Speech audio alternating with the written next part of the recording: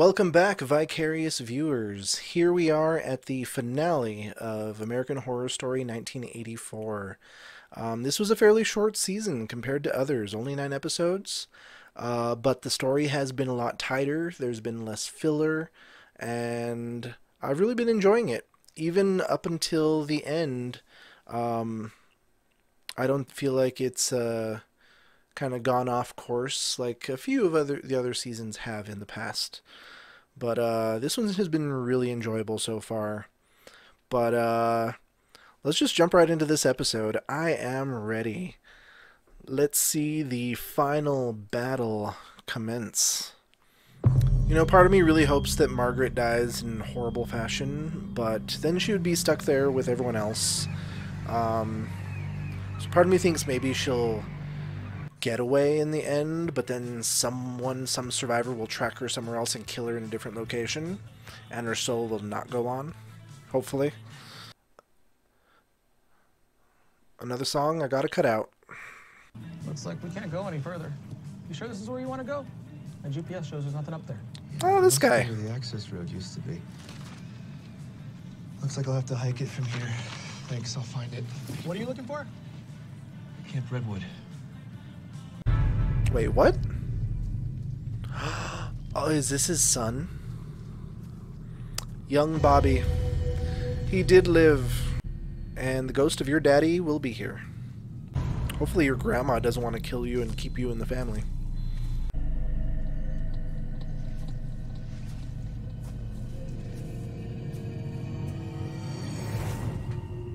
Hmm, a little foreshadowing. If they left everything up, I bet it was a slaughter. What's that? In your hand? Uh, it's my phone. That's not a phone. What year is this? Are you serious? It's 2019. Oh my god. After that shit show in 89, I began to notice a lot less people were coming into camp. We were forgotten. Something else must have gotten their attention. Now I know what. I'm sorry, were you even alive in 1989? And, and you said No. we. Who, who else is here?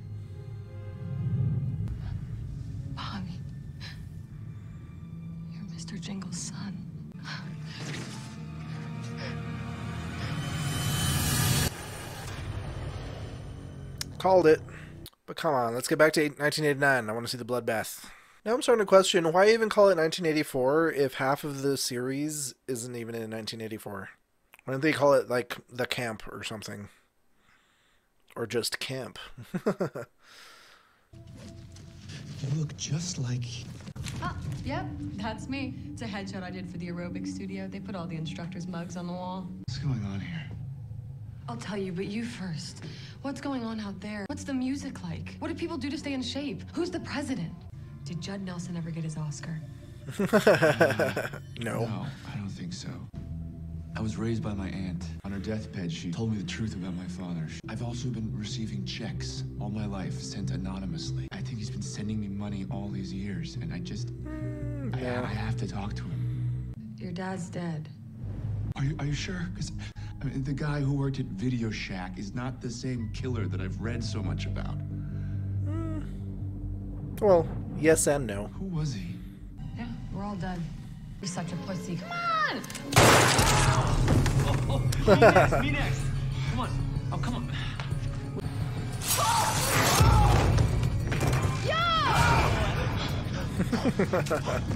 What is happening? What's going on? It's a long story. It was Halloween, 1989. There must have been some kind of massacre, massacre if all the scaffolding was still there. I'm surprised the recording studios didn't try to go in and collect all that. That shit's expensive. The talent was supposed to be here 45 minutes ago. We'll see to it that those contracts are executed because if they aren't, hmm. you will be. Executed. But I was promised Billy Idol. If he doesn't show, up, I'm going to be very, very upset. Show's over. You are true evil. I'm shutting you down, Margaret. I'm going to the authorities, and I am filing for divorce. People can run for me, but they never get away.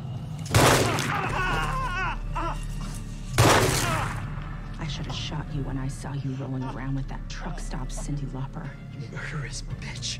Look around, Ding Dong. Truck You're stop, not in Sydney Camp Lauper. anymore. You're on the other side of the property line. So if you die here, dead is all you'll ever be, and you will never see that bitch again. Oh! Damn!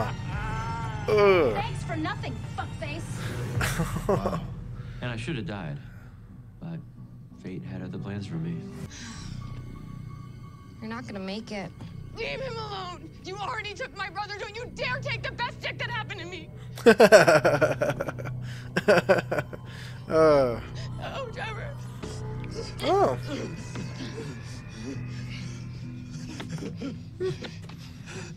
Why would you help me? Because I'm not like you.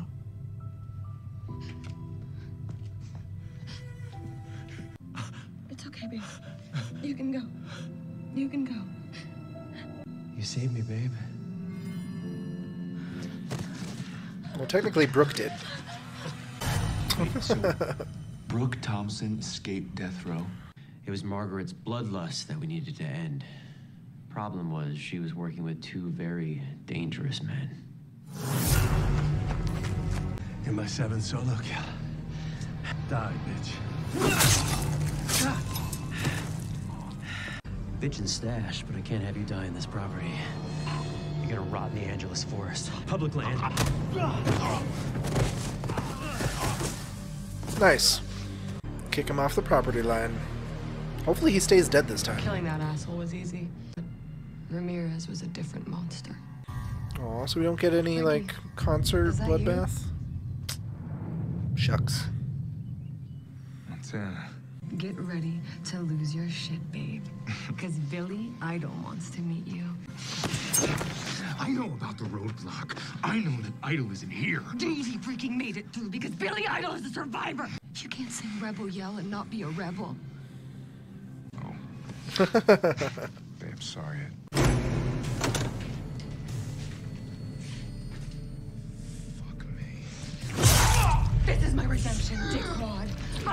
The one to end you. Not supposed to be!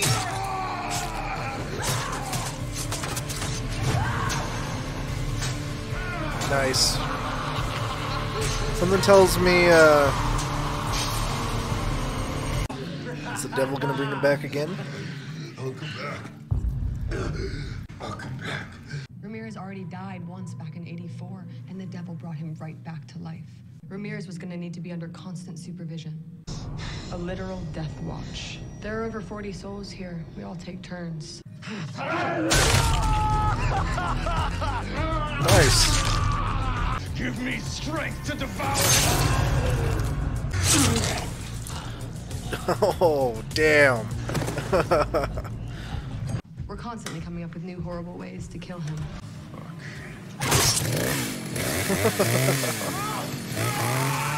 We're doing this to keep you safe. So how does he make it to the Devil's Night dinner and You're hotel the first every person year? he'd come for. The son of Jingles he swore to kill. I'm not leaving. Not until I find him. So what happened to Margaret? Oh, Seems like he's taking longer to wake up. Probably got another round of Pictionary in. Really? They're gonna let their guard down on the day that like uh, Bobby comes back? loser has to strip. What are you afraid of? Keep an eye on Ramirez. Open him- Damn it.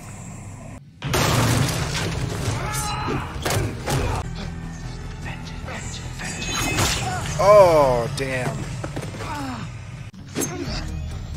He's already dead. It's a pointless fight. You're just like your dad. You fight like a pussy. Got a guy here in the lobby. Someone that needs your attention. Is it the shrink? Is it Donna? I knew your father. It is Donna. When they locked him up in here, they locked up an innocent man. There, there was so much evidence. Evidence planted by the real killer. And she almost got away with it. Almost. Is she in your asylum?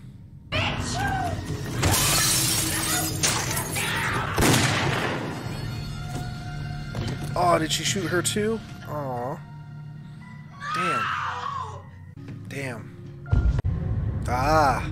Haha. Foreshadowing. I saw that blood. Shoot her over the property line. So you were the last one. The final girl. Girl, Thank you. I mean, for the money. I don't know what you're talking about. I never sent you anything. Hmm. Well, then there must be someone else who knows. Maybe you weren't the final girl after all. Did Brooke make it out? Why are you doing this for me? Who says I'm doing this for you? Her own curiosity. Who else made it out alive?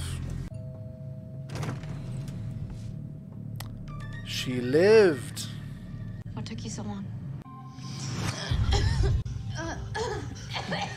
You're alive. I can't help you any further.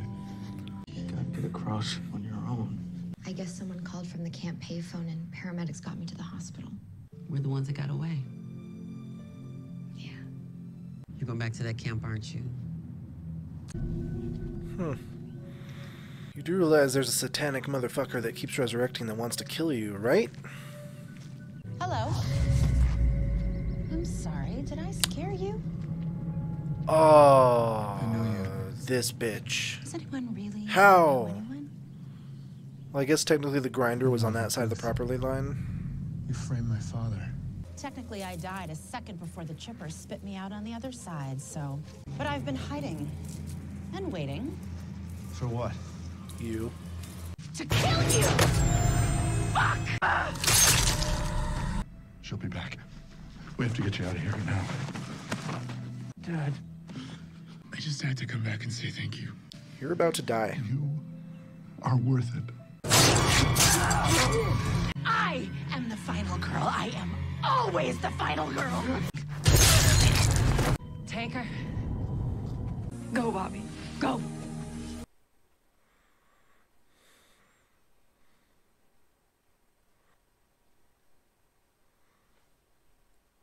Hmm.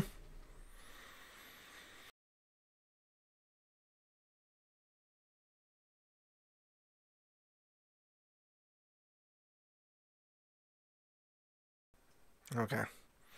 I was wondering if there was to be like one final scene or something. 1984 is over in 2019. um, that was an interesting finale. That was not what I was expecting. Um, I was expecting a fucking concert blowout massacre, and I was kind of hoping for that, but they subverted my expectations. Um, I wouldn't necessarily say in a bad way. Um, it was still an interesting ending.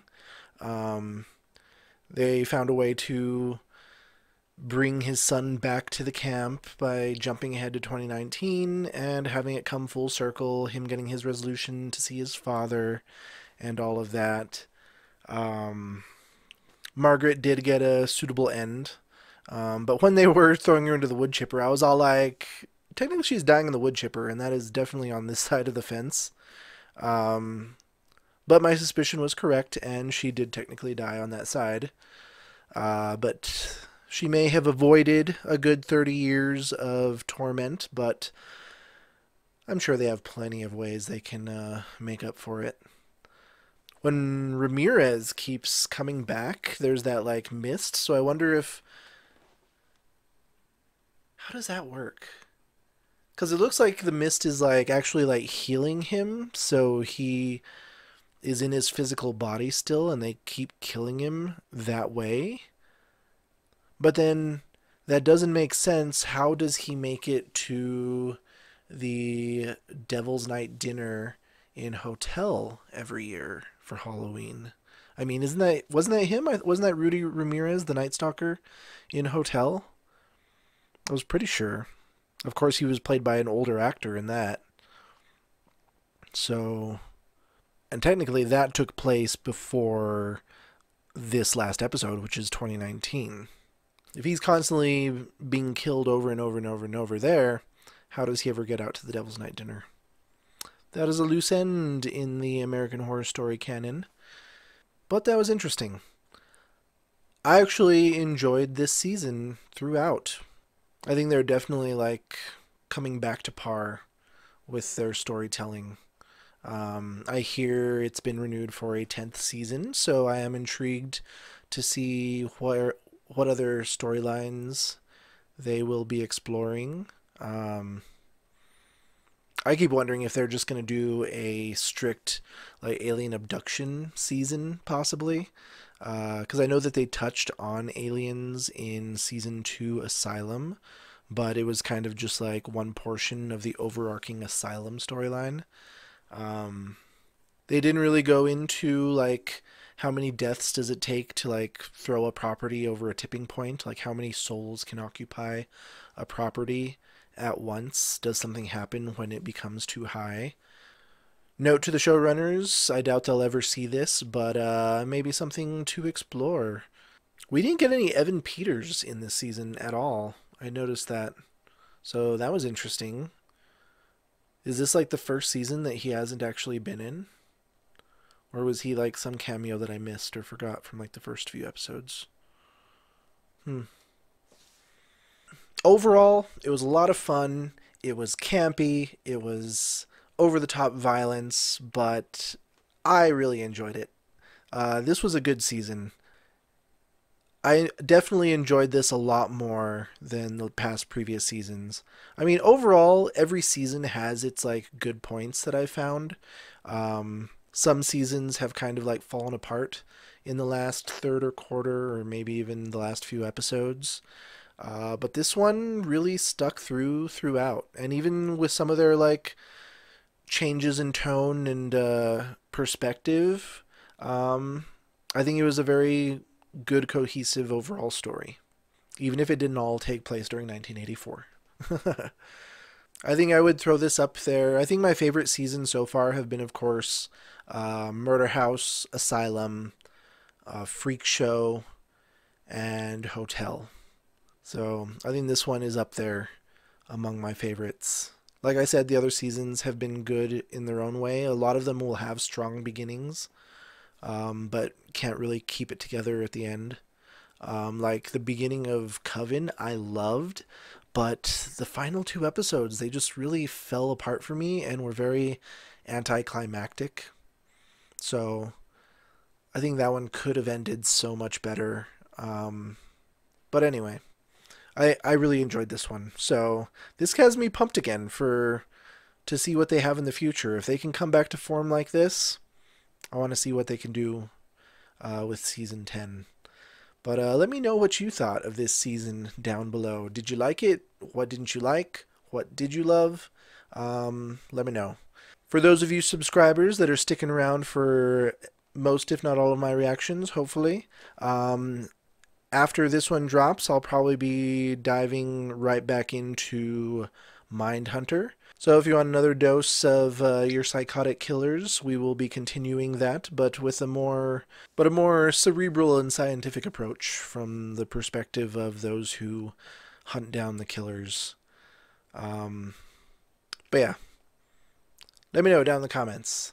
Hit like and subscribe if you enjoy reactions like these. Ring that notification bell so you don't miss a single one. And thanks for stopping in for this Vicarious View.